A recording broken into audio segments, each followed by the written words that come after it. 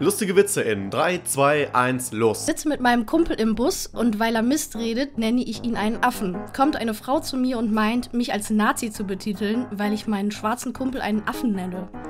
Haut der eiskalt raus, wie reden Sie bitte mit meinem Besitzer? Ironie lässt sich am besten durch 15-jährige Mütter erklären, die Hüllen für ihre iPhones haben.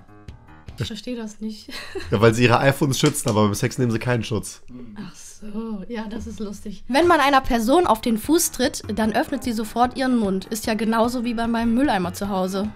Wenn man sich aufs Klo setzt, verbindet man seinen Arsch mit einem riesigen Netzwerk von verbundenen Ärschen. Wie im Bundestag. Wie im Bundestag. Die Behauptung, Loch ist Loch, stimmt vorne und hinten nicht. Habe gerade Kleingeld gefunden, das mir beim letzten Sex aus der Hosentasche gefallen ist. Immerhin 3 D-Mark. Früh aufstehen ist wie Sex. Man stöhnt viel, ist schnell erschöpft und kriegt Ärger, wenn man dabei einschläft. Vor vier Wochen habe ich das Buch Geld verdienen durch Betrug online gekauft.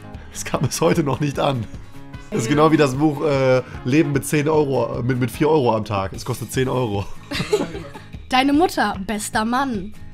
Früher war wirklich alles leichter. Ich zum Beispiel. Bei einem Kompromiss verlieren beide. Wenn wir es so machen, wie ich es will, dann verliert nur einer. Das ist viel besser. Theorie ist meistens unmöglich, aber Praxis ist theoretisch nicht durchführbar. Wenn die Zähne weg sind, dann hat die Zunge freies Spiel. Das macht mich ein bisschen geil. Hat die wirklich keine Zähne oder ist das bearbeitet? Weiß ich nicht. Meine Frau ist so eifersüchtig, dass sie mit auf meinem Ausweisfoto ist. Passt zu meiner Ex. Mit deinen Kinderfotos heilt man Pädophile. Wozu Schmetterlinge im Bauch haben, wenn ein gut durchgebratenes Schnitzel doch viel besser schmeckt? Wenn Lea bei einem Music-Label unterschreibt, ist das dann ein Lea-Sing-Vertrag?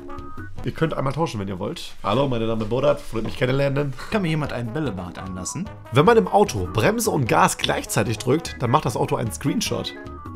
Babys immer bei 90 Grad waschen, dann bleiben sie klein und niedlich. Was macht eine Blondine morgens mit ihrem Arsch?